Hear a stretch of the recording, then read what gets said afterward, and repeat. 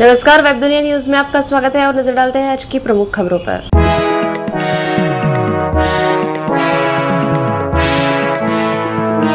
Bharat Pakistan series को सरकार की मंजूरी नहीं।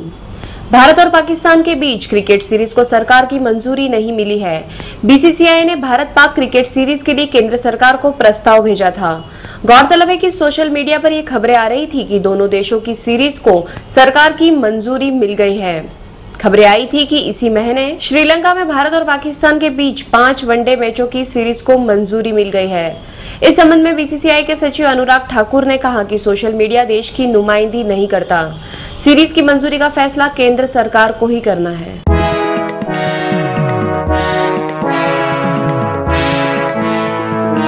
सरकारी शिविर में मोतियाबिंद ऑपरेशन फेल 24 लोगों की आँखों की रोशनी गई। बड़वानी के जिला अस्पताल में मोतियाबिंद के लिए किए गए ऑपरेशन से कथित तौर पर 28 मरीजों की आँखों में संक्रमण हो गया है। 24 मरीजों की आँखों की रोशनी चली गई है। 16 से 24 नवंबर के बीच आयोजित एक शिविर में ये ऑपरेशन किए गए थे।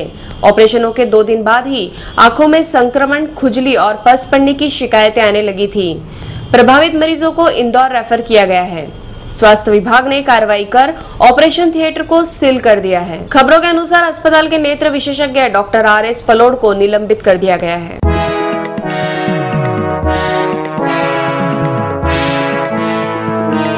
दिल्ली विधायकों का वेतन प्रधानमंत्री से ज़्यादा, बिल हुआ पास।